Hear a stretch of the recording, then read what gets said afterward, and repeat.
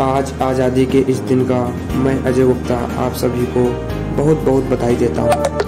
आज हमारे देश ने आज़ादी के अपने 75 वर्ष पूरे कर लिए हैं। आज पूरे देश में आज़ादी का अमृत महोत्सव मनाया जा रहा है। मैं इस आज़ादी के दिन को एक अपना छोटा सा ट्रिब्यूट देना चाहता हूँ अपनी पेंटिंग के माध्यम से। सो let's start and draw something for nation